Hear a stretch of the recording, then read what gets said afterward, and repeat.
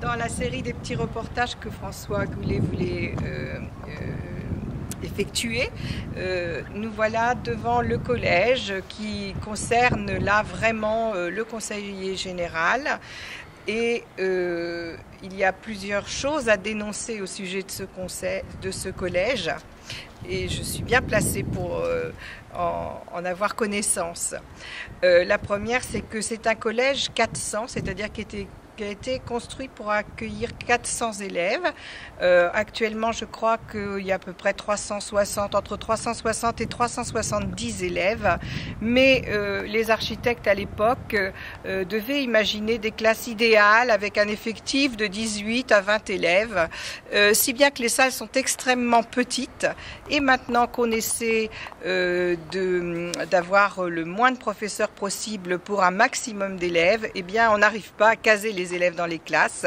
Euh, lorsque les classes dépassent un effectif de 24, ce qui est quand même maintenant assez courant, et on ne peut pas euh, avoir tous les élèves dans la salle. On est obligé d'ajouter des chaises et des tables au fond, euh, dans un inconfort vraiment désagréable pour tout le monde.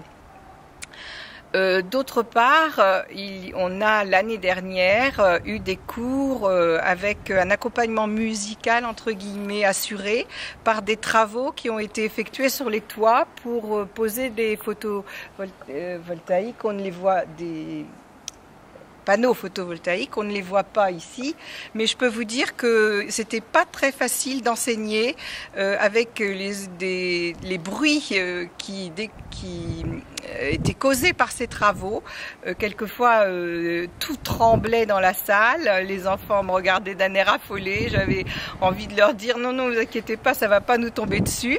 Mais enfin bon, c'était pour la bonne cause. Alors on a subi ça en se disant plus tôt ça sera posé et plus vite on pourra euh, euh, se servir de ces panneaux. Et eh bien voilà, nous sommes en mars 2011 et ça ne fonctionne toujours pas. Alors, euh, c'est quand même dommage, je trouve, qu'on ne trouve pas une solution rapide pour, pour qu'enfin ceci soit, ces panneaux soient fonctionnels.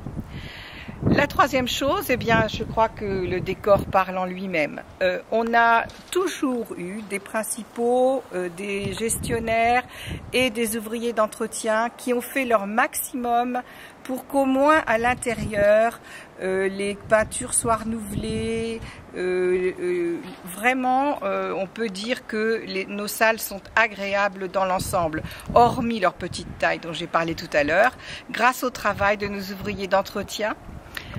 Malheureusement, l'extérieur, eh bien, regardez, euh, je pense que c'est même pas la peine de commenter. Euh, ça me fait honte, moi. Quand, je passe là, euh, quand je passais là tous les jours, je m'en apercevais pas tous les jours.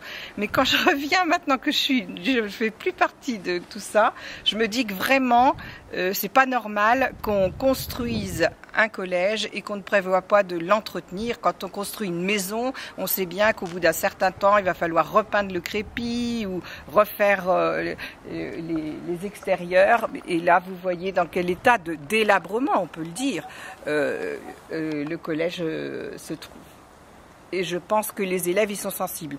Par contre, vous voyez que les espaces verts sont très bien soignés, il y a des jonquilles, ça y est, le printemps arrive. Donc euh, on peut dire que ce n'est pas de la faute des personnes qui vivent dans ce collège qu'il il offre cette euh, vision-là quand on arrive.